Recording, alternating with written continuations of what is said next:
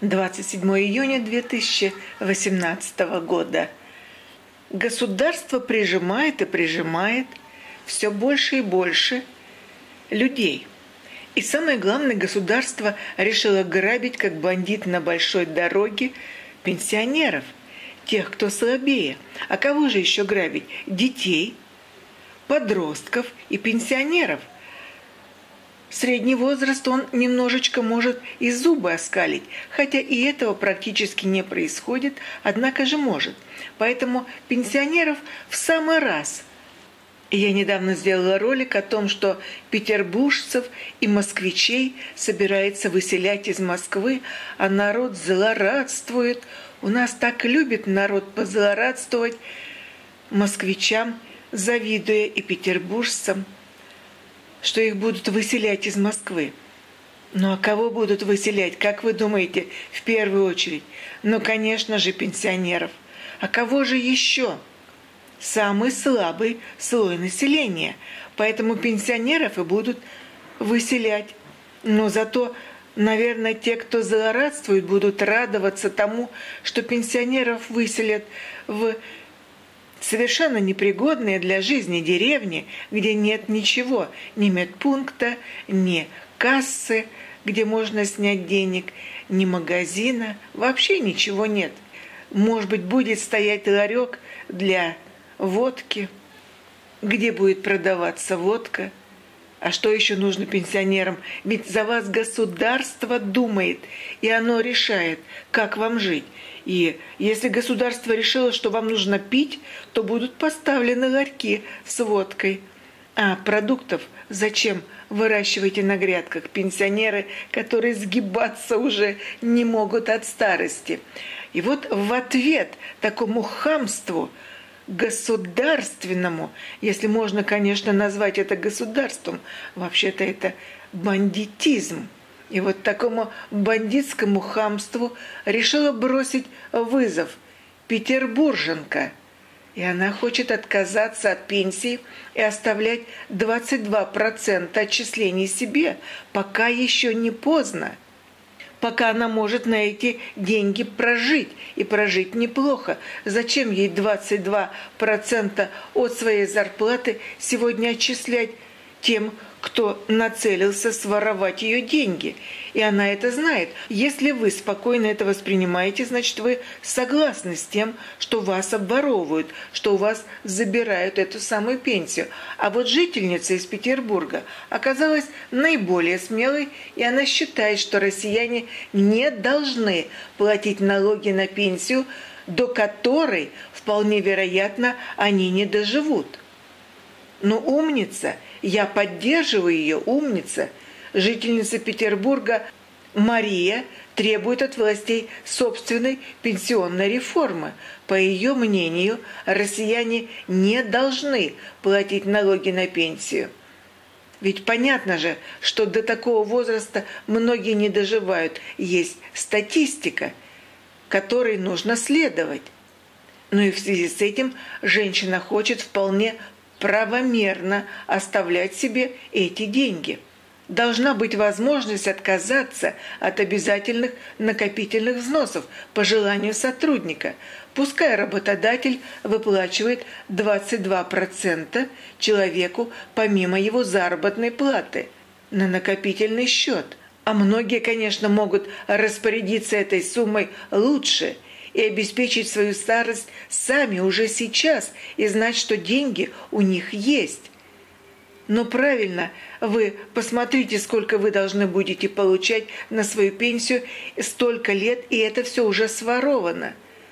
Тогда понятно, что лучше эти деньги оставить себе, а не давать воровать явным вором заведомое воровство, на которое, ну зачем соглашаться?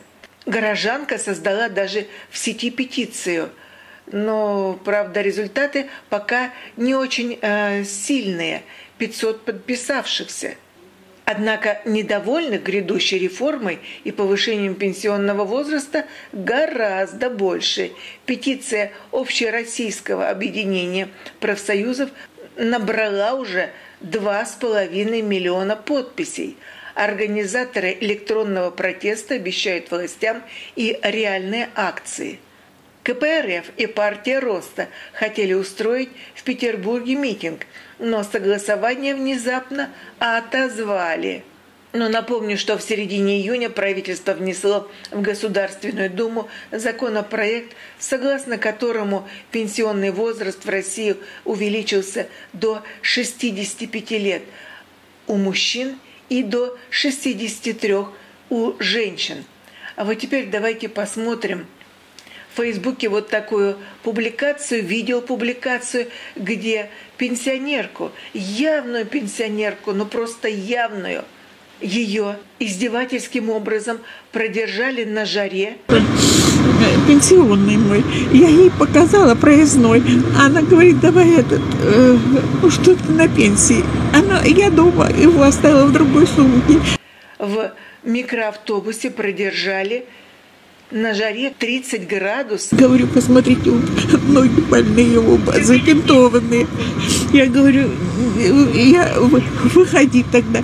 Я говорю, ну я, мне тяжело идти, я вот доеду, я вам покажу всегда этот, есть у меня пенсионная. Они взяли людей, высадили, а меня закрыли, и вот уже не знаю, сколько времени. Час, а пенсионерка с больными перемотанными бинтами ногами.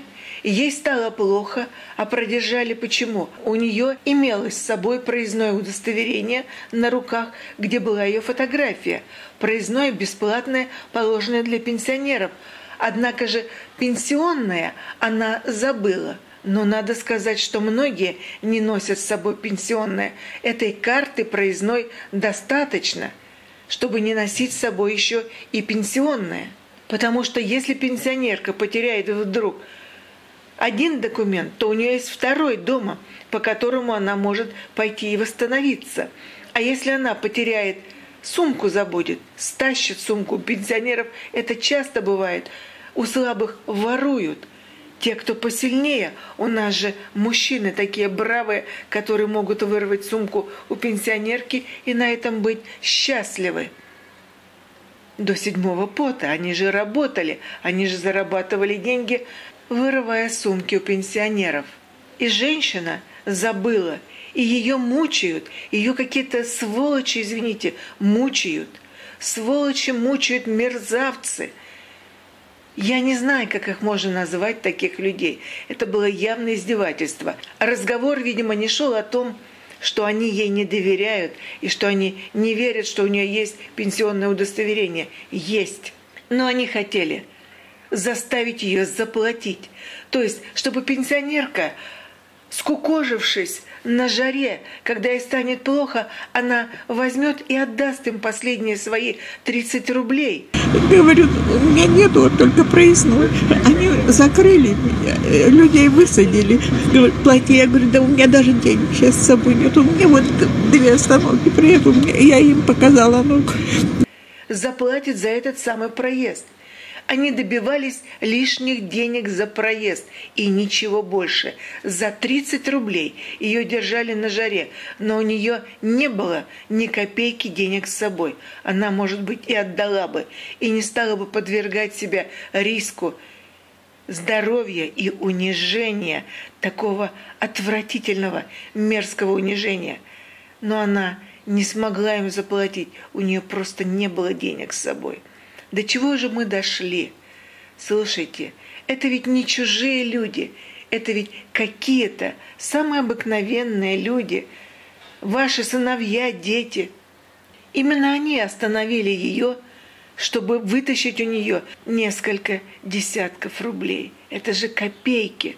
И за эти копейки они издевались над ней.